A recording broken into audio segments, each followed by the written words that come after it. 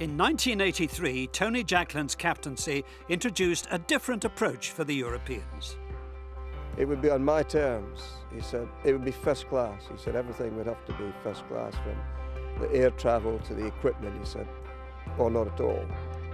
My mission wasn't to play everybody every day, it wasn't to be nice to all the guys all the time, it was to get the best out of 12 men and win the Ryder Cup.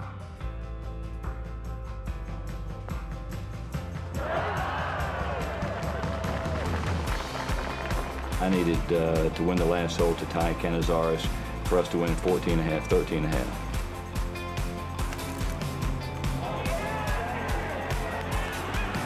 I hit a, about a 72-yard sand wedge about a foot from the hole to win the hole and enable us to win. To pull it off under those circumstances was something I remembered for a long time.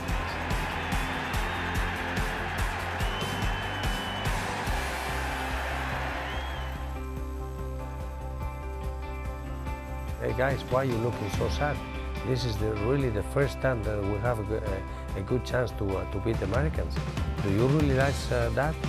And uh, everyone look at each other and say, ah, Since then, the things change. And things did change at the Belfry in 1985. In the first day foursomes, Ballesteros and Manuel Pinero beat Curtis Strange and Mark O'Meara 2 and 1, winning the tricky par 4 10th along the way.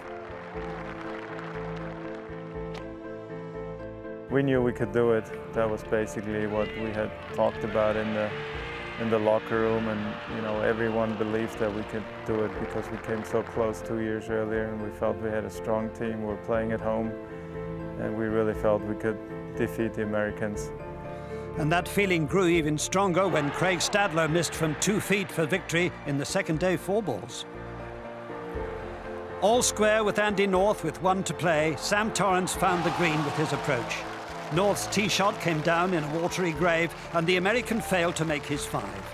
Torrance knew he had two putts to win the Ryder Cup for Europe, and his walk down the final fairway resembled a victory parade. One putt was all it required, and 28 years of waiting was over.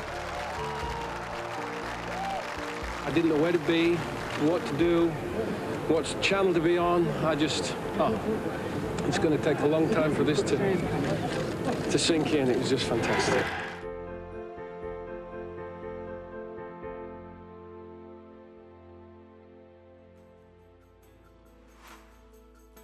When Europe travelled to Muirfield Village, the course designed by the American captain Jack Nicklaus, the United States were defending a home record of 13 consecutive victories, yet the tables were overturned. Of win in America for the first time on American soil in 87. That was euphoric. That was, that was it. Europe, five points ahead going into the singles, were grateful to Irishman Eamon Darcy for stemming an American fight back with victory over Ben Crenshaw. And when Ballesteros beat the world's number one Curtis Strange 2 and 1 at the 17th, the celebrations could begin.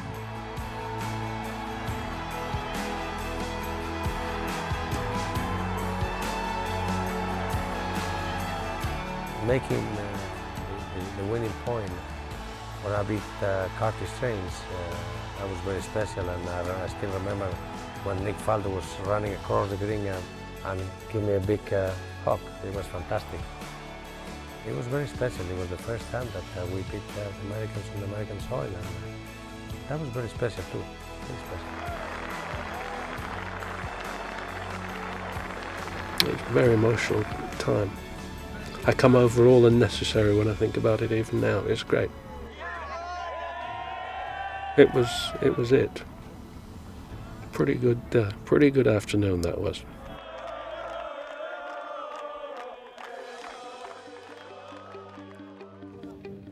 In 1989, as Europe returned to the Belfry, momentum was clearly with them.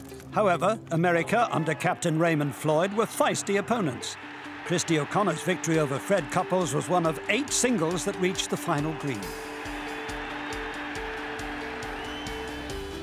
And when Jose Maria Canizares rolled in a three-footer to beat Ken Green on the 18th, Europe were grateful to retain the trophy after only the second tie in Ryder Cup history. Under Jacklin's captaincy, the Europeans restored pride in the locker room, claiming the Ryder Cup on three occasions.